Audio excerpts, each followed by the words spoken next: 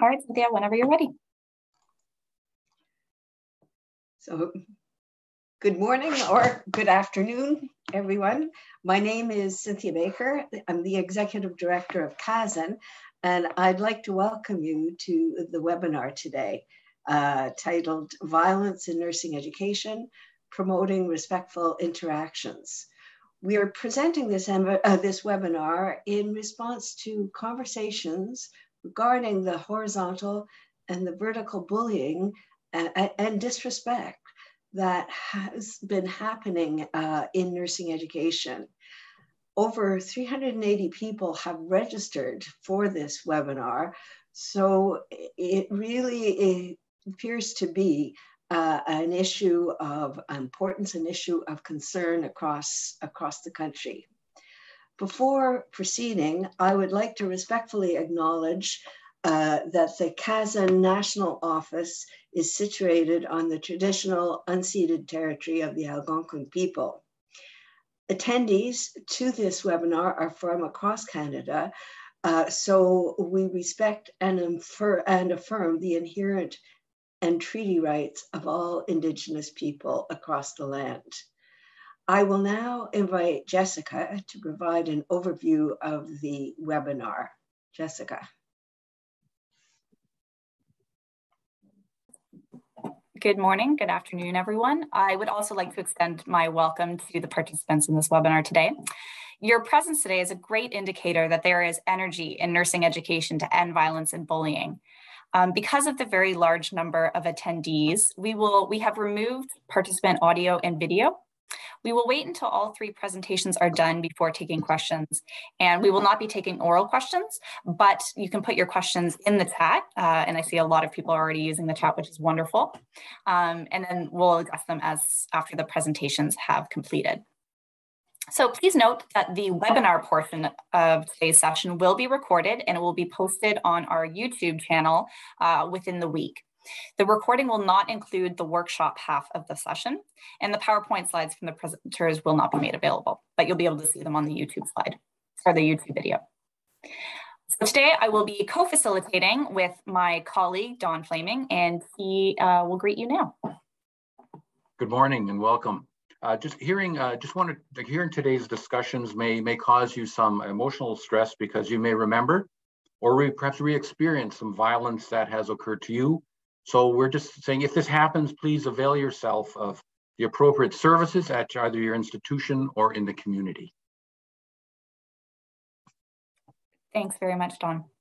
So our first presenter today is Kathy O'Flynn-Magee, an Associate Professor of Teaching Emeritus at the University of British Columbia. And you can refer to the webinar webpage uh, for her full bio. Her presentation is entitled Violence in Nursing Education, Promoting Respectful Interactions Between Students and Faculty. And over to you, Kathy.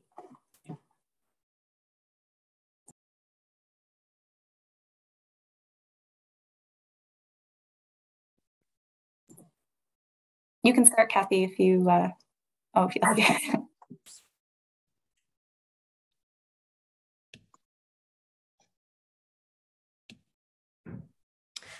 Thank you so much, uh, Jessica and Don, and thank you so much for inviting me. Um, I'm hoping everyone can see my screen. Yes. Yeah. Awesome. So um, I'm Kathy O'Flynn-Magee, and I am, as Jessica has indicated, um, an associate professor emeritus from UBC School of Nursing. I have been working with this concept of bullying, addressing bullying, for the last five or six years. So I'm really pleased to have been invited just to say a, a couple of words about um, about that in relation to promoting respectful relationships with students, between students and faculty.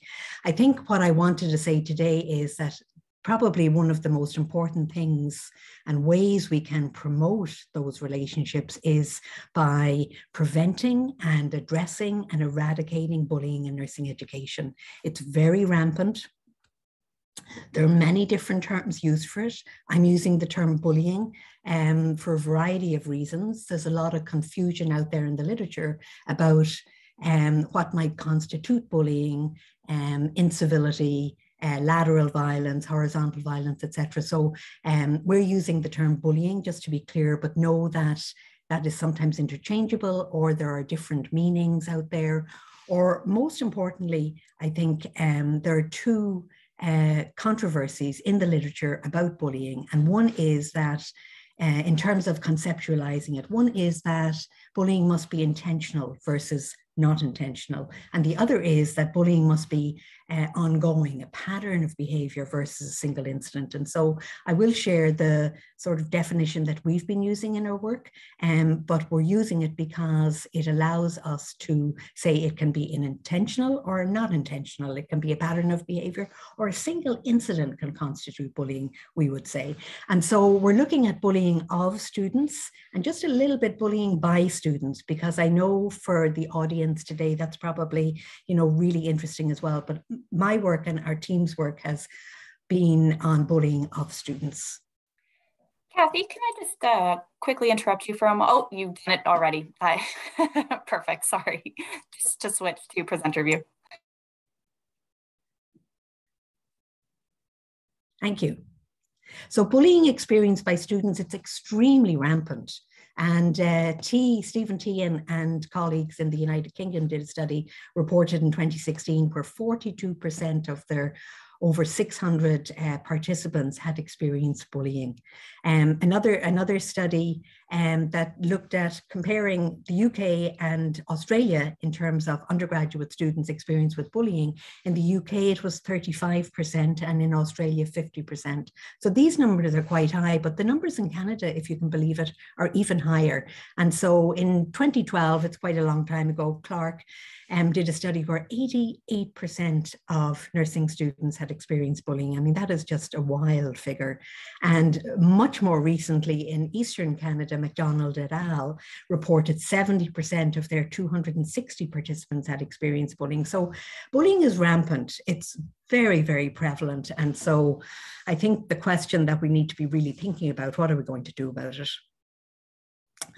So just a very brief uh, little word about upwards bullying, contra power harassment. So this is bullying by students of faculty, and it is getting more um, recognition in the literature. Um, and so this study by Christensen, I've had horrible things said about me, an inductive content analysis of nursing academic experiences of contra power harassment, uh, indicated, as have others in this area, that a lot of the bullying that happens that is experienced by faculty from students is often related to assessment, evaluation, and grade sharing. And that really doesn't surprise me because that's a very tense, a very tense time. And so uh, some students' behaviors in this study left the faculty reeling in disbelief as to what those behaviors were.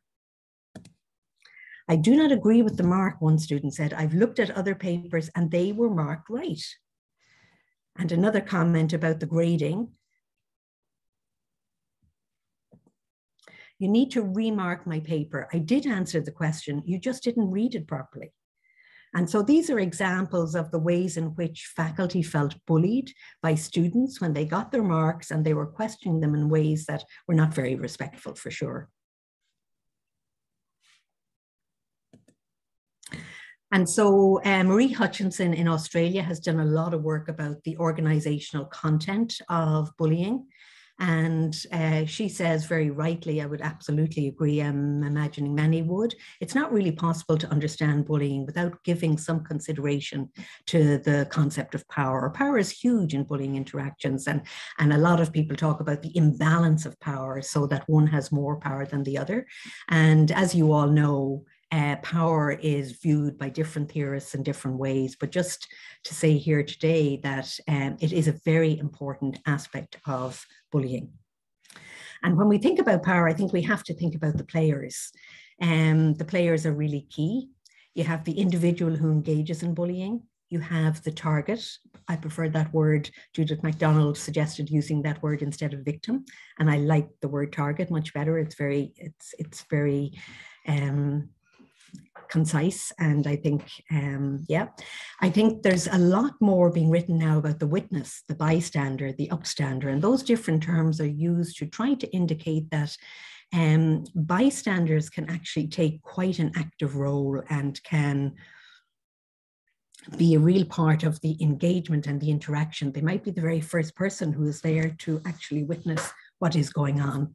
And so they're very, very key. And of course, no surprise, leaders are key. And uh, a lot of the literature will talk about um, it's really up to leaders to set the tone and to ensure that we move towards the goal that I've talked about preventing, addressing, and eradicating bullying. But uh, often bullying is viewed as an interpersonal um, between two people, personality of somebody, oh, that's just the way they are. But that doesn't really allow for the idea of context and how important everything that's going on around people is equally important. And um, many of you will know the work of uh, Hartrick, Doane, and Varcoe, who have written a couple of books about relational inquiry. And really, I've learned a lot from their work in that they talk about the intra, inter, and contextual levels. The intra being what's going on within all of us who are here, what's going on between all of us who are involved, and what's going on around all of us. And so that's really helpful. Another way of thinking about it is to think about the context as cultural, socio-political, institutional, and historical. And uh, I would say that one of the, just to give an example of a socio-political context that influences um, this kind of behavior between faculty and students would be this, this corporatization of the academic, the, acad the academy. And um, the fact that we're very much moving towards uh, outputs and students are thinking that they are looking for a service and faculty are considered to be the service givers and it can change the relationships very much within the university. Also the stress that students encounter and faculty encounter does play quite a large role in this uh, prevalence of, of bullying. Okay, so what to do is always the question. Okay, so what? Uh, I think first of all, don't do nothing, do something. And in our work, we have really found that to be very important. Do something. There's so much underreporting, there's so much silence around bullying, and it doesn't help to move us on in that way. Be clear about what constitutes bullying. If we don't know what we're talking about, it's very hard to address it, to prevent it, uh, to eradicate it. And so um, just as an example, we use WorkSafe BC from, um, which is our legislated definition of bullying and harassment. And it works well because it's quite broad and it also works well for students. And so it's really about um, inappropriate conduct or a comment that a person would make towards a student that the person knew or should, excuse me, should have known would cause that student to be humiliated or intimidated. And so um, this is not the be and end all, but it's something we have found extraordinarily helpful to say this is how we are understanding bullying also key, I think, in terms of what to do for each and every one of us, whether we're in a leadership role, formal or informal, an educator role, a research role, but we need to be reflecting on our beliefs and our values and the theoretical underpinnings, especially as they relate to the relationships we have with students. That's really key. And I just mention a few here that I have found extremely helpful in helping me to promote respectful engagement with students. And of course, uh, you'll all be familiar with Paulo Freire, the founder of critical pedagogy and anti-oppression, action-oriented social justice, um, very key figure in some of my approaches. And then Bell Hooks, who, who, who talked about the pedagogy of freedom and the pedagogy of engagement. So the idea of having relationships with students where everybody's voice was heard was really key. Uh, socially just pedagogy is something that I've only just come across fairly recently, but Osman and Hornsby are, uh, you know, inviting us to think about bringing the university back to its social mandate of social justice relational inquiry, as I've mentioned, Hartrick, Doane, and Varcoe. And Margaret McAllister and transformative learning. So transformative learning, always with the goal of action and doing something. Um, and doing something to make the world a better place, essentially.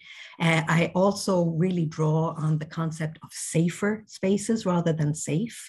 And safer spaces acknowledges that it's, it's really impossible to guarantee safe spaces. But with safer spaces, we can acknowledge that a safe space for one might not be a safe space for another and just try to make it as safe as possible. So I find that a very important concept. And trauma informed education practice, taking the concept of trauma informed practice into the field of education, really key. And then finally, the, the notion of partnerships and partnering with students. And in our work about bullying, all of our work has been partnered with students. It's a student faculty partnership, which has really been, I think, fantastic. And so there's even a journal, International Journal for Students as Partners, that I had never come across until recently. And I'm just going to ask my colleague Sandra if she would read a quote from one of our students who uh, was talking about the partnership that we had as a group of faculty and students. Um, it is from, um, it's from um, a journal article that's in press and Poon et al. is our work and Poon is um, a BSN graduate from the program. So she was an undergraduate program and, and, and she's now taken the lead in this paper. So it's really awesome.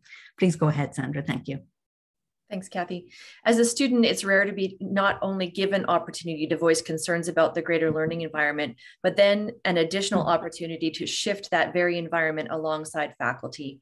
How often does curricula for students get written, built, and executed by students themselves? I cherish the moments we shared as a group, listening to one another, providing feedback, and shaping the workshop together as equals. Wonderful. That's such a beautiful quote. Thank you so much, Sandra, for doing that. That's terrific. So back to what to do, I think another really important thing that we need to do is recognize that bullying and relationships are embedded in more than the interpersonal encounter. Context is key, institutional power and other systems, systems issues must be explored. And uh, what's recommended by somebody called Hodgins et al. Hodgins is a fantastic source if you're looking for a critical review of organizational structure and context and how it influences things like bullying. Um, but we need to begin with the review of our values. That's really key. And that's the place where we need to start. And we need to make a commitment to take action. And I'm going to invite Don to um, get the, we have a two minute video. It's about taking action. It's about uh, a witness to bullying, and it's from a series of vignettes that we're just completing um, here as part of our CRAB project. So can I undo my screen? Just yes, of course I can stop sharing. Thank you.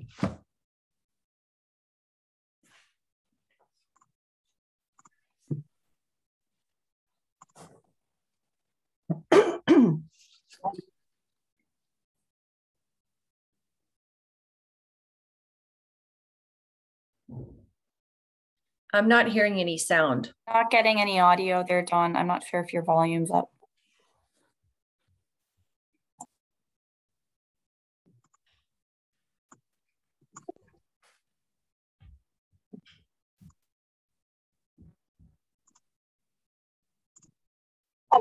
What about now? Yep.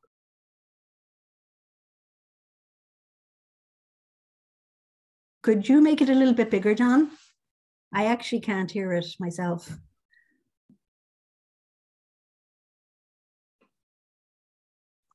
I, I can hear it on mine. So let me just, um, I try, I mean, sorry. Can you hear it now? Can you hear it? No. You need to go under your options at the top and share sound. Please. Uh, no. Uh, Maybe in the meantime, um, Kathy, if you have that link handy, you could add it in the chat button or the chat box. where am I supposed to go? Sorry. I'm just going to see if I can just start it.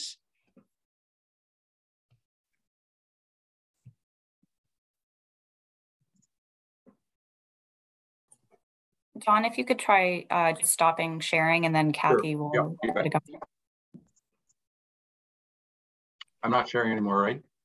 Sorry about that, folks. I knew there'd be a hiccup of some sort. That's just the nature of the game. So thanks for trying, Don. I know it can be tricky sometimes. Let's just keep our fingers crossed that it might uh, work here.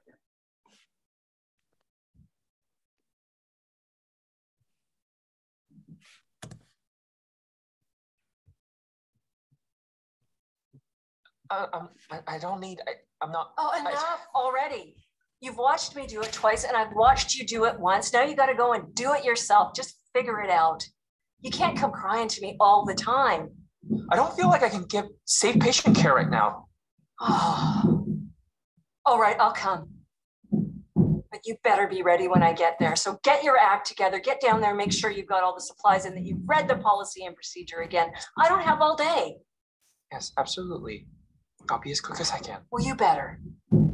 You're going to have to pick up the pace if you think you're going to last on this unit.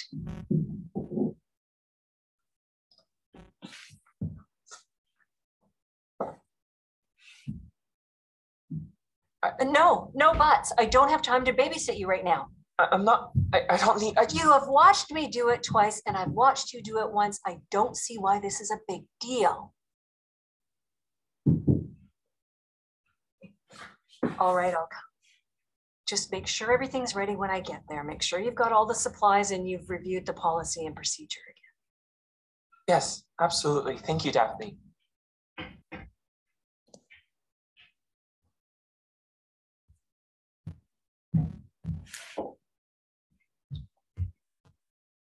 No, no buts. I don't have time to babysit you right now.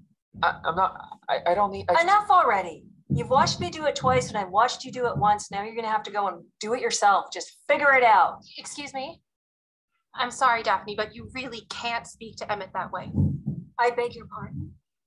I don't want to interfere, but I'm just finding the way that you're speaking to him to be really disrespectful. You know what? I don't have time for this.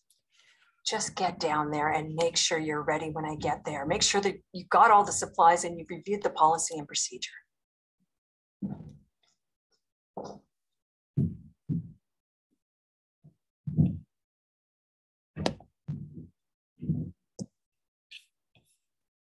Okay, so that was one of a series of vignettes that we've made that will be, avail be available on let'sact.ca quite soon. There are a series of interactive videos. We were trying to depict the witness and the role of the witness, first doing nothing, second, not saying anything, but standing beside the target, and then lastly, speaking up. And so happy to answer any questions that you might have about that at the end. I just have one um, final slide that I'd like to go to finish up.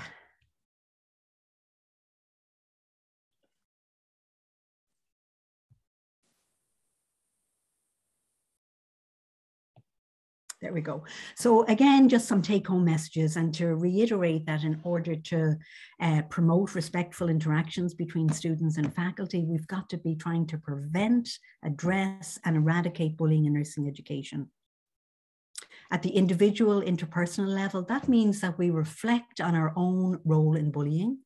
There isn't anyone amongst us who hasn't engaged in behavior that could be conceptualized as bullying. We need to think about that.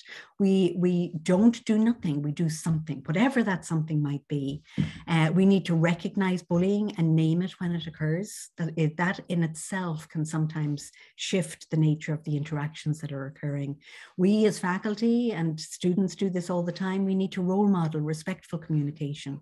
And as teachers and as others, as leaders, we need to prioritize relationships. They're the foundation of teaching and learning and nursing. And we need to consider forming partnerships. One participant in MacCurtain et al. study said that they would not report bullying again. It was a terrible experience. Management hate complaints, and those who complain are the next target. That is a, that is a sentiment that has been repeated in various uh, literature sources, and it's certainly a little bit alarming. And then just at the systems, institutions, policies and procedures level, we need to be reviewing the values of our institution. And we don't always do that. We need to be really clear about that. And then we need to set expectations for faculty and students. That's a sort of preventative measure.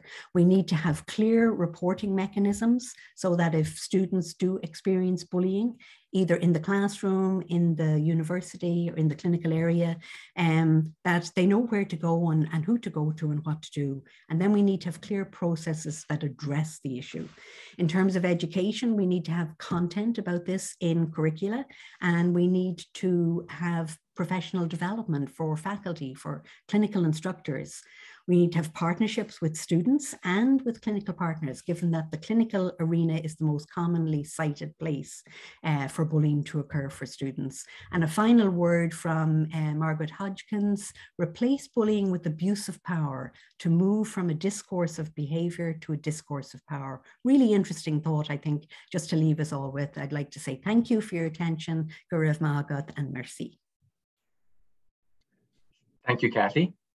I would now like to invite uh, Dr. Cheryl Pollard, Dean of Nursing at the University of Regina's Faculty of Nursing, to present Decoding Collective Trauma, Healing Wounds Within the Academy. And please refer to the webinar uh, webpage for her full bio. Dr. Pollard. Thank you so, so much, Dr. Flaming. I am just delighted to, to be here. I'm joining you from uh, Treaty 4 territory and the homeland of, of the Métis. Um, I am just amazed at the interest this has generated from across the country, from east to west, north and, and south. Thank you all so, so much for coming. I am going to uh, share my screen.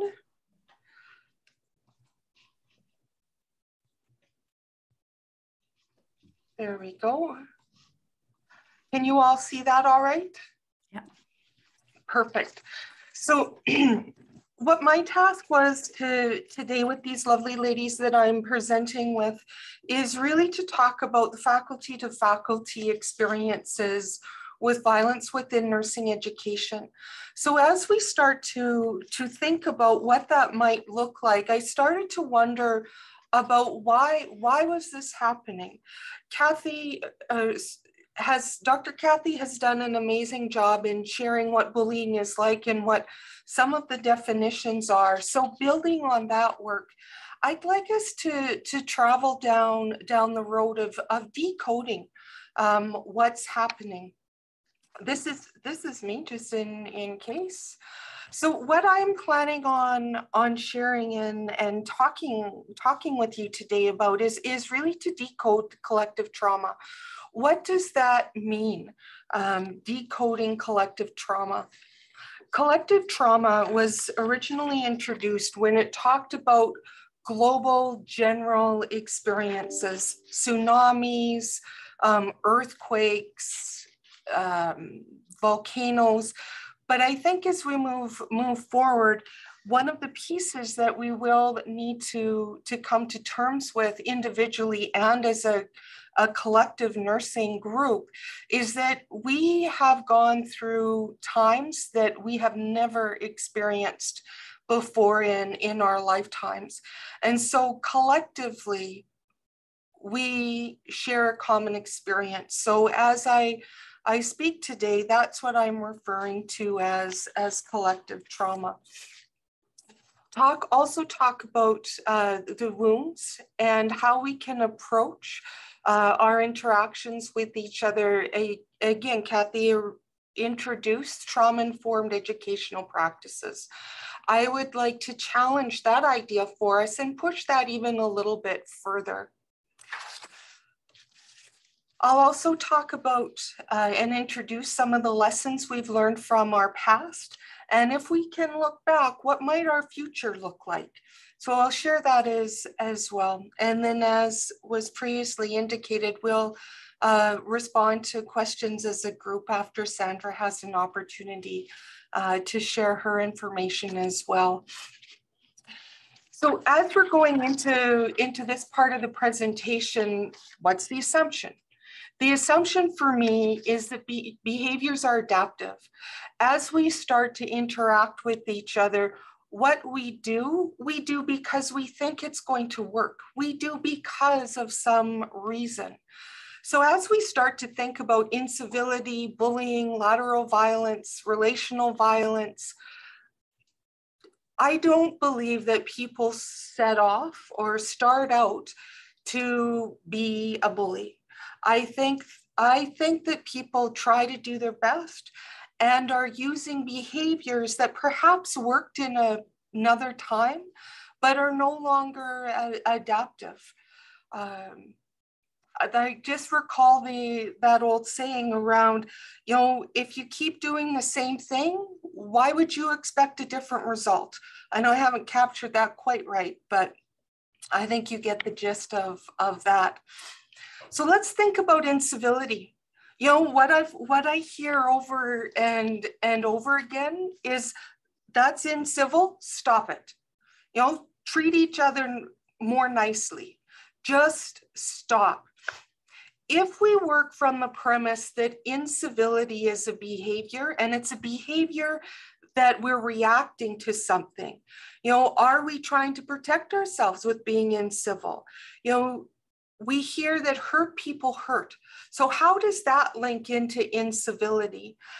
As we start to think about how we would provide care to other individuals that have been traumatized, I remember working working with students and one of our one of our students it's like well they just got to quit doing that well that that's fine you know we can quit doing that but they're doing it for a reason and what are we going to replace it with you know if you think about uh, sub- substance misuse people use substances for a reason nobody nobody starts off with wanting to, to be an addict.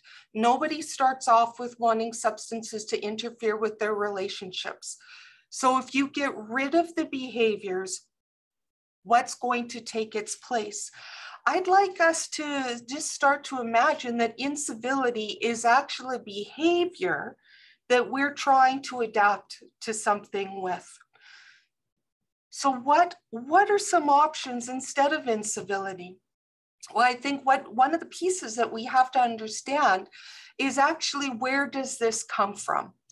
There's lots of work in, in the relational literature, whether that's from Doane and Varcoe, Mark, Martin Buber, um, Wendy Austin, uh, Bergum with the relational ethics pieces, that this is, is the, the ability to see the face of, of the other. So that's those are words of um, Bauman and and Buber. So it's really around objectification. Why are we able to object, objectify? Why do we objectify? You know, so it's whether it's incivility and othering. So as we think about incivility as an adaptive behavior that's gone awry, depending on on what we want. Um, why does this happen? I shared the image here from the Canadian Nurses uh, Association, and I just think it, it's such a powerful, powerful image. When I look into the eyes of the, the nurses in this image, I, I see exhaustion. I see people who are, are tired. Um, my daughter was recently admitted into, into hospital, and one of the, she's 12, one of the pieces that I was absolutely, I don't know if the word's dumbfounded or I was just absolutely moved. The nurses that were working with our, our family, they did they did their job with with excellence. They did everything they needed to do, but it felt like like they were empty. It felt like there was of a blank.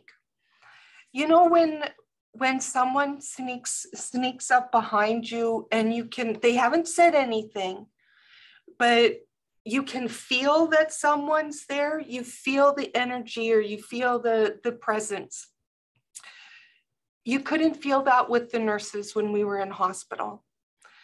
Um, in emergency, people are exhausted and they're they're done. Um, I saw examples just observing um, demonstrations of, of incivility, whether that was through actions or words, uh, or in fact, where assessments were, were taking place. So why, why would people act incivilly? Why, why are they feeling empty? Certainly there's, there's personality characteristics and those are the intra pieces that Kathy talked about. potential feelings of, of inadequacy. Certainly the imposter syndrome um, comes into my life from time to time. Um, personal ambitions, you know, these are my goals, I'm gonna get them and no matter, no matter what. COVID has also really highlighted the uncertainty. I don't know what my job's going to look like. I don't know what my patients are going to be like. And then what are my responsibilities going to be? You know, when you're pulled out of, um, when you're when you're pulled out of a med surg unit and and are put in ICU, who knows what's going to happen? All of these things are reasons as to why people are are behaving in in civil why violence becomes an option in our behavioral repertoire certainly there's there's space factors blurring of boundaries between home and work and then the lack of reciprocal understanding uh, and respect this one for me all of these are are absolutely loaded but this one for me really speaks to some of our responsibilities as, as treaty people. It speaks to how we are wanting to, to move forward and, and engage. And it's that reciprocalness that we are starting to, to understand and explore a little more. Certainly when, um, with relational ethics, as we speak about mutual engagement, that's the reciprocal piece that there needs, that there needs to be benefits for both individuals. Um, there's also, I threw up in, in here, because what presentation doesn't have a few little quotes in here? So I threw this in here uh, for us as, as well. One of the pieces that was, was super interesting for, for me is that the age and incivility scores showed a negative correlation. There was also a correlation between those who were, who were single had, had higher incivility scores than those who are, who are married. There weren't good explanations as to why that, why these things occurred. But again, part of what I wonder about is if the behaviors are adaptive, what is it that we're adapting to?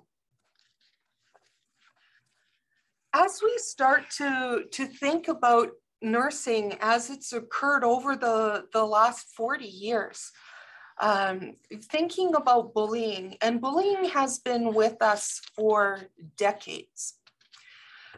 So if bullying is with us for decades, it wouldn't still be here if we didn't get some benefits from it. So as we think about, about uh, relational violence within the academy, how, really, how historically has it represented itself? in the 1980s to 1990s, certainly there, there were um, there were uh, gender issues. So when you look at this at this table, the anti the antecedent is really what what are the basis for this? How why would would incivility be coming up? The manifestation is how does how do you see incivil behaviors? Response is related to how what is the response that you would get either from a manager, from a, a supervisor, an administrator, or even from yourself? And the impact is how does that affect me as, as a person? So in the um, 80s to 90s, certainly there was lots of um, gender related issues that were, were coming up. Um, males were often told that, you know, males don't belong in nursing, don't belong in nursing. So you just move along and you get yourselves a real job and you leave this for the people that know how to care. That is an example of, of bullying. The, the manifestation being physical was around physical traits. In the literature, it also describes, I didn't want to make that mistake because my hands would get slapped. And so there was that physical contact. How did individuals who were bullied respond? They responded by feeling alone and abandoned. They felt unassisted, um, ignored, and their motivation just dropped. In the 1990s to 2000s, it was really around organizational culture. And Kathy, thank you for doing such a nice job describing power and the influence and the impact power has on, on our relationships. So within the 90s to the 2000s, what um, Harton and the colleagues described is that really it was around organizational culture and behavior of, of other nurses. It was the old nurses versus the new nurses. As some of you will, will recall, this is also the time where there was some traction around moving nursing schools from hospitals, institutions, into a different kind of institution. Now nursing went from a responsibility of health to a responsibility of advanced education. So there really became the tensions between diploma versus degree, hospital versus post-secondary. And we also started to move from, from caring being just something that we do with our patients and our clients. So again, it was un, unspoken, um, but you could feel it palpable as as relationships evolved. And quite frankly the impact if people excuse me people would move people would leave people would vote with their feet and move on from jobs. About, about five more minutes cheryl. Well i better get going. I better get a move on then.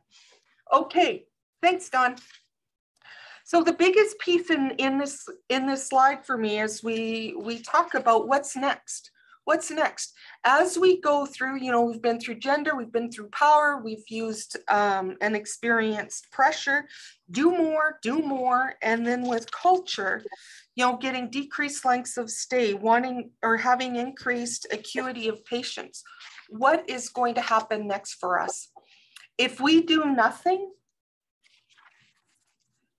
the, my belief, um, mine and my colleague, Annette Marsh, our beliefs are that the antecedent is really around collaboration. We're trying to develop inclusive communities where our members feel safe and possess a strong sense of, of empowerment and belonging.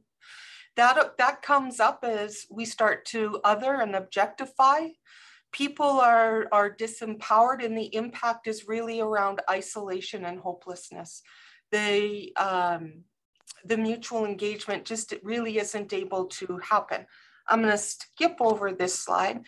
So as we decide what we are going to do around incivility, bullying, lateral violence, please, please think about the choices ours to make. The choices ours as to do we want um, this to continue or do we want something different? But again, remember that it is because we there are some advantages to being in civil that people continue to do this. The second assumption for me is that all of us have experienced trauma. And we've experienced trauma from seeing it, from being engaged, being, um, just I wrote this down, being a, a target, rather than a victim and certainly experiencing all of the historical whoops, trauma that we've experienced. My third assumption is really that the premise of trauma informed approach in education is supportive and that it is with a nurturing and healing relationship that we can all contribute to a healing process. But how do we start those healing processes? Trauma informed practices are one of those. So, as we look at um, potential avenues to engage in this kind of practice, the very first thing we need to do is notice. We need to notice that we have all experienced trauma. How we have been triggered, how we individually experience trauma is different but all of us collectively have experienced something. We are at a crossroads. This is my chicken who's deciding whether or not they're going to cross the road. We're at a crossroads here. So, what I would like to invite you to do is to notice. When you start to notice yourself saying, I'm tired, I'm done, seriously listen to me. You know, if you would only communicate better, we'd get along much more easily. You know, or maybe they're out to get me. How long is this going to take? Or I just wish this was over. How many times have you heard that? When is COVID over? I'm done.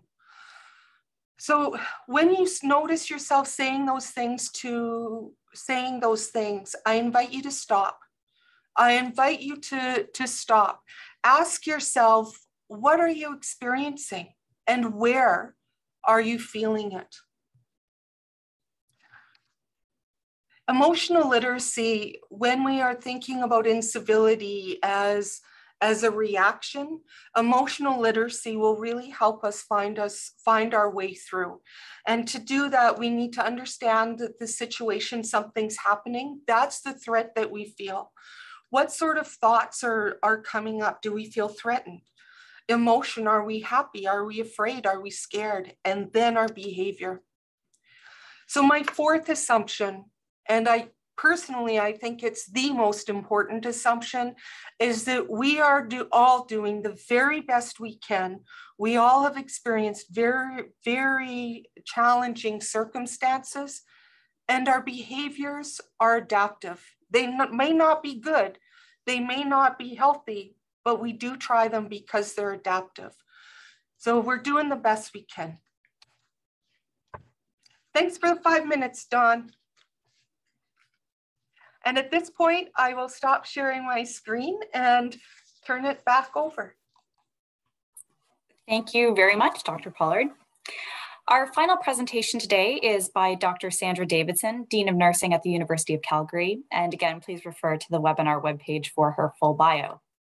Her presentation is entitled Setting the Table for Civility, Strategies for Administrators and Leaders in Nursing Education. And thank you. Uh, please go ahead, Dr. Davidson. Well, thanks so much, uh, Jessica, for the introduction. And thanks so much to my colleagues um, for, for setting this final part up so well. It's amazing how our, our um, thoughts are, are, aligning yet not duplicating. So I, I hope to offer um, and extend um, what my colleagues have already uh, shared with you. And, you know, to Cheryl's point in looking, we have a choice. We're at that crossroads. I really agree with that.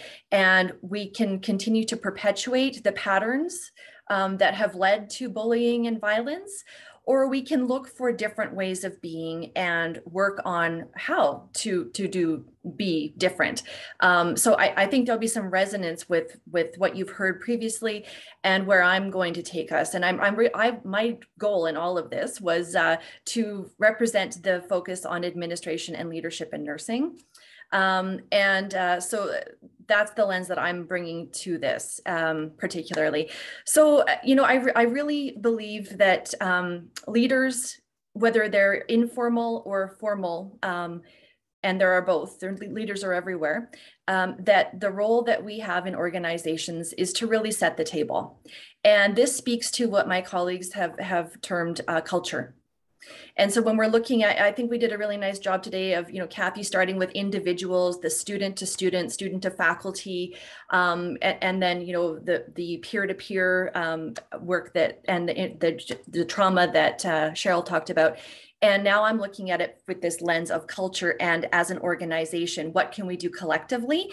And how, as leaders, do we start to set a table um, and an intention for the culture that we want to create and we want to thrive there. And, you know, I, I think Kathy's point about um, values is really, really important. And, you know, it's sometimes we think of it as, as kind of a throwaway that it's something we need for accreditation or that we need to have it in a strategic plan. But really bringing those values to life is a really important piece of, of how we behave together and how we um, move through our days collectively. So here we have this beautiful table set. And, and this is, I think, every leader's goal is to lay a, a bountiful um, a, bountiful table uh, for all of our colleagues uh, in the organization with so many tools on the table um, and beautiful settings and comfortable chairs.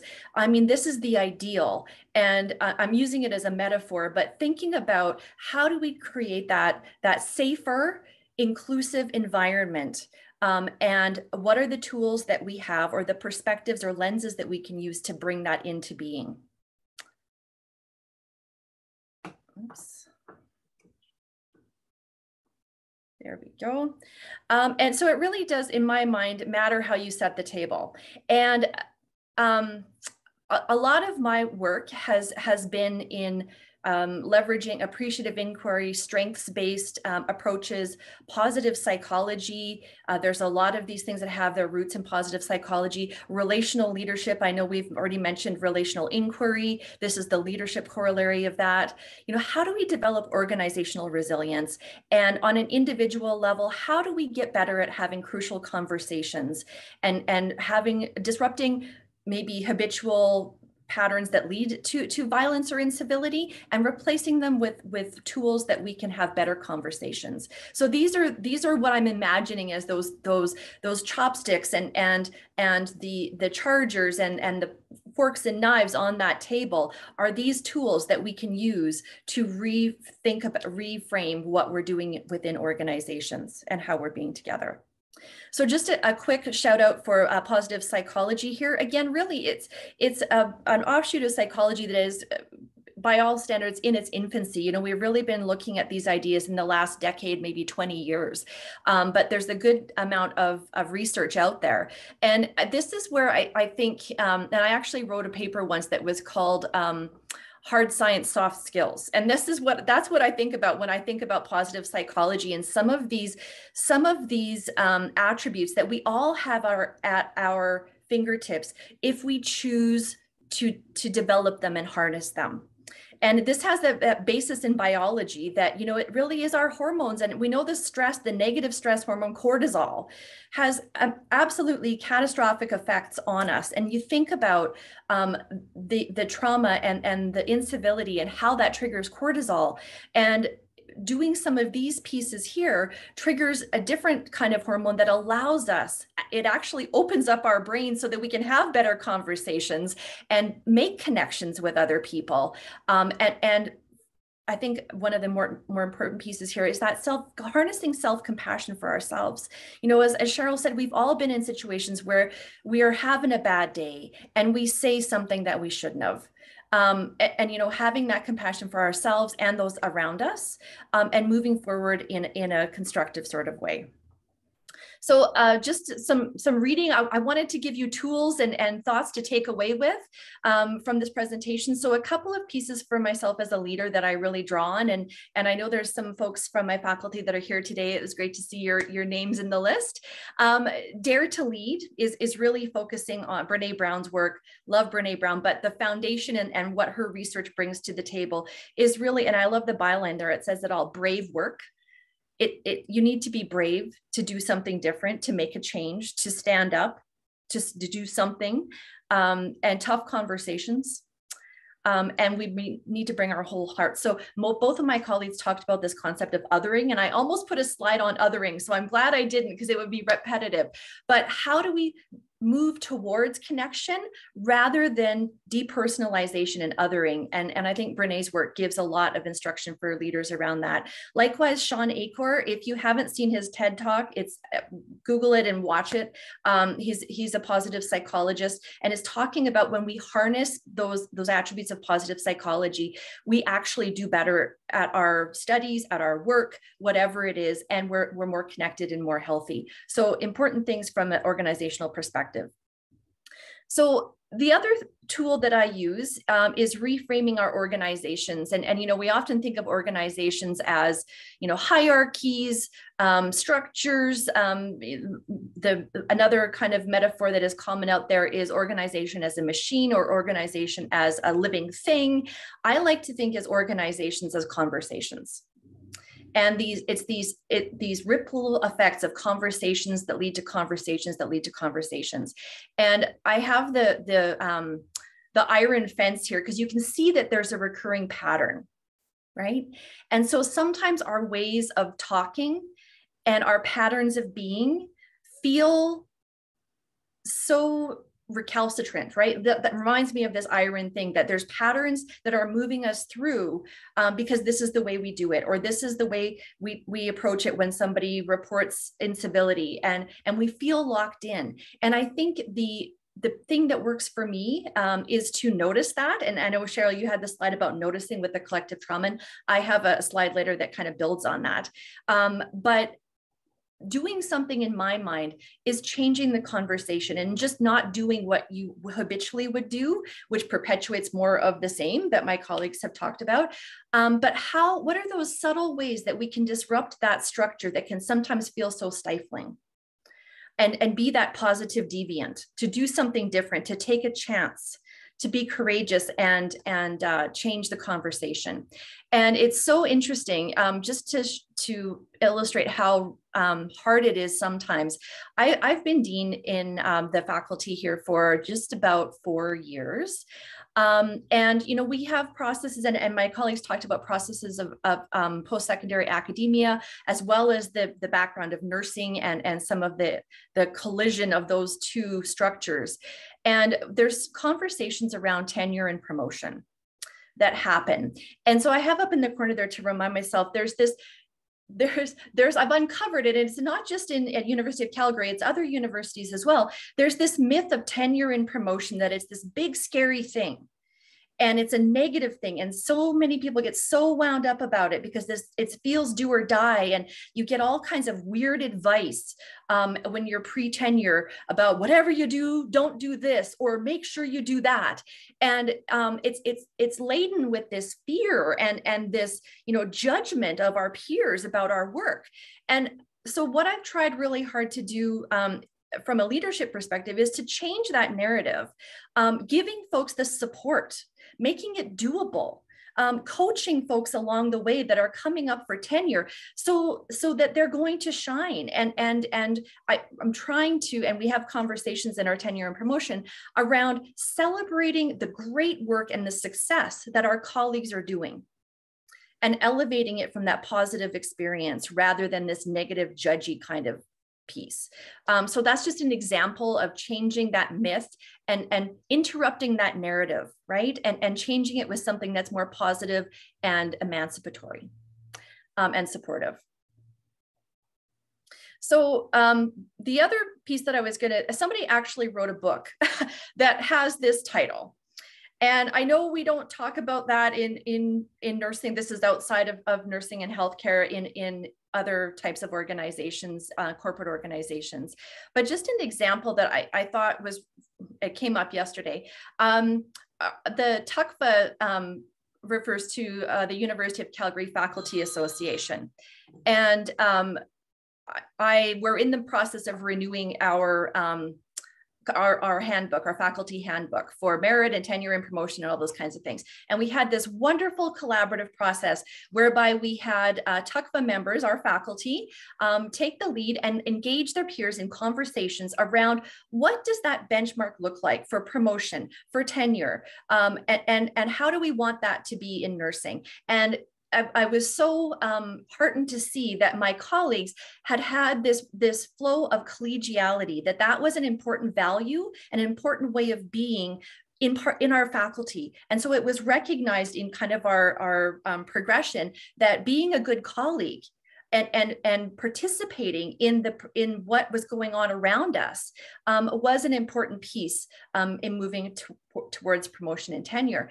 And so when our initial draft went to the faculty association, um, the faculty association took great um, exception to the fact that we had included collegiality as a benchmark for tenure and promotion. Um, and it was very much in, it, it, struck me because I was getting this talk ready at the same time. And it's like, oh my gosh, here our faculty is trying to institute collegiality, which I think is akin to this no rule, right? We want to make sure we're, we're retaining and, and promoting and honoring those um, that are contributing and, you know, are, are a vibrant part of, our, of the culture we want to create and not doing a disservice to it by being out for themselves and only themselves and and not um, you know making us all better as a whole. So that was our attempt to, to, bring collegiality into the into the handbook and and TUCFA really pushed back. Um, so I still have to have that conversation with TUCFA because I just got that feedback. Um, but it I mean it, it's uh, it, this represents the value of the faculty of nursing and this is important to to the TUCFA members that are in the faculty and and so we need to have a conversation there a crucial conversation All right. Um, speaking of crucial conversations, if you don't know of these two books, these I, I love the work um, that this group does. Uh, Grenny and his colleagues. Um, they're they're in their third and fourth editions now, but this is really it's it's based on um, observational and interviews of of folks that have are really good at holding hard conversations in organizations and they distill it down into practices and principles that will help us all to be better communicators when the stakes are high when emotions are high and, and moving us into um, having better conversations overall. So i offer it as a reference for you if you're not familiar with it and one of the pieces here that I just love, and this goes back to the pattern thing. So Joseph Grenny, who's who's the primary um, author of, of this, he says if you are stuck relationally or organizationally, it's because there is a conversation that you are not having or not having well. And so I think about that in terms of the perpetuation of, of bullying and, and horizontal violence, whatever it is. And you know, are we there because we're not having the right kinds of conversations or not holding them well? And how can we get better at having those difficult conversations? And i have some other food for thought for you. So um, cheryl this is this is my version of, of what you talked about in that trauma informed care. And this is actually work of otto scharmer not a nurse, um, but an organizational theorist from MIT. And uh, what I want to draw your attention to is that he's got these two principles, these two, let's call them patterns, um, and a, a, a, pattern of presencing and a pattern of absencing.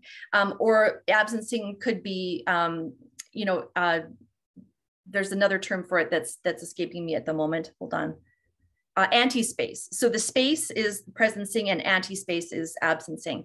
And so um, as, as I've talked about, this is, I think we want more of what's at the top and less of what's at the bottom. Um, but if you if you just look at that bottom and the absencing, this is this is the pattern of of blinding, not noticing, right? And, and Cheryl just said that noticing is the first part. And that's reflected up here in this seeing. This is an organizational kind of construct for how we can create um, more vibrant, um, inclusive cultures, right? So the blinding, the desensing, the absencing, this is where we other people um, and we and, and, sometimes i find this as a leader and i was i was talking to some of the faculty about this and getting ready for this presentation and what should i include and it's interesting how othering has recently shown up. Um, and I think COVID and being on Zoom has really um, made othering um, more prevalent. It's easier to other someone when you just see them in a little square um, than if they're sitting beside you. And you can, as you, as, um, as you said, uh, Cheryl, you can feel their presence. Um, and so sometimes I, have heard um, situations where um, administrators are othered because we're referred to as our title, not the person Sandra. So I, there was an example where there was a meeting of faculty and I wasn't there. The story came to me afterwards, um, but it was like, oh no, the dean would never let us do that. And it's this this blanket statement of that I would, you know, the power structures, the dean, the power of the dean would never let us do that. And and you know the others called into question and kind of said well you know i i know sandra and she she wouldn't not be open to a conversation. And and so how how that's something that we can all do is when we see that othering and and the absencing how do we deep repersonalize repersonalize what's happening there?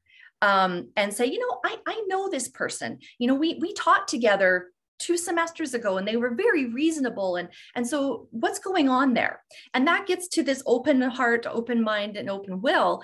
And and i think curiosity is such a key um, inflection point that instead of being uh, fearful or moving from a place of fear and anger remaining curious and open to what's going on for other people that are maybe um, having uh, challenges and, and um, perpetuating bullying or negative, negative um, patterns of, of behavior. Um, so for me, this is really helpful in thinking about how we move forward organizationally. And at least seeing it and naming it is the first thing that um, helps us to reframe it. So the other work that I wanted to bring in is just Brene Brown's work. And that's the columns you see here of the daring leadership and the armored leadership. And I think it lines up really well with the U space. So this is going back to what I just showed you. The, the U space is, is this yellow one, and then the anti space is the, the lower blue one. And um, so I, I, think, you know, if we're looking at leadership and, and some of Brene's work, if you just look at this list of armored leadership, this is that quintessential power over and um, control and hierarchy and positional power that maybe I think we've all been a part of these institutions because um, just like you, we teach how we were taught, we lead how we've been led, which isn't always good. And so we say, well, this must be the way to do it, unless we actually um, find and educate ourselves with better ways of being. So, you know, um, I, I, I won't read that all, but you can see it there. And then just quickly look at this daring leadership. And the thing that I wanted to point out here is putting we've talked about power throughout this presentation these presentations and instead of using power over how do we start to think about using power with power to and power within and reframing our conception of power that we are stronger together and it is that relational connection that gives us the power um, to overcome some of, of those things that we want to overcome. Um, so I, I think that this is a really nice rubric for thinking about stepping into difficult conversations leading with our hearts and and harnessing positive psychology that will help us um, become healthier as individuals and as organizations. Uh, Cynthia, so, just a couple of minutes left yeah, I'm almost done. Thank you. Um, so I love this picture because you know we we I had the vision, the grand vision of the beautifully laid table on the beach at the beginning, but I love this quote by Arthur Ashe: "Start where you are, use what you have, and do what you can." We can all do that.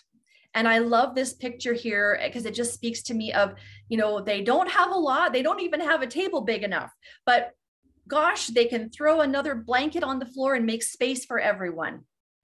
And it just strikes me as this beautiful inclusivity. Um, everybody has a place at the table.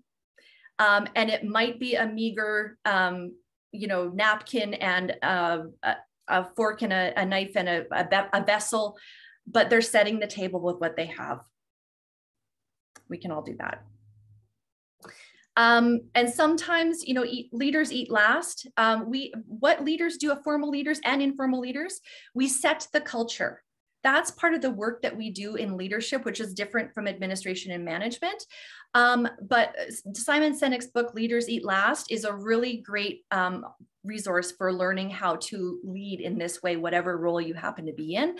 So sometimes, and I here it is, you know, leaders do the dishes. And this is for me is walking that talk. And modeling um, what we want um, to create more of in our organizations. And so sometimes it's having the leader visibly engage in that hard conversation or model um, you know, an apology if something was said um, in anger or wrong or whatever it is, but being um, modeling the way um, is, is basically what that is and in the service of others, right?